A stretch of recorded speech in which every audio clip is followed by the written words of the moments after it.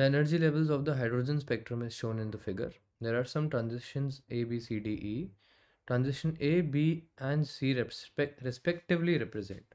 तो चलिए सबसे पहले ए बी एन सी को देखते हैं तो ए की अगर मैं बात करता हूँ ये आ रहा है आपका इन्फिनिटी टू वन तो ये आपका क्या हो जाएगा लाइमैन सीरीज़ का पार्ट हो जाएगा ठीक है नेक्स्ट अगर मैं देखता हूँ बी की बात करें तो ये आ रहा है N is equal to five to two तो टू जो है ये आपको फिर बालमर सीरीज़ दे देगा। तो ये third line of the Balmer series हो जाएगी, है ना? और नेक्स्ट है C, which is from N is equal to five to three. तो ये आपकी तीसरी सीरीज़ जो कि पास्टन सीरीज़ है। और पास्टन सीरीज़ की कौन सी लाइन हुई? है सेकेंड स्पेक्ट्रल लाइन हो गई उसकी। तो अब ये चीज़ आपको ऑप्शंस में ढूंढनी है। इन चारों ऑप्शंस में से कौन सा ये रिप्रेजेंट कर रहा है?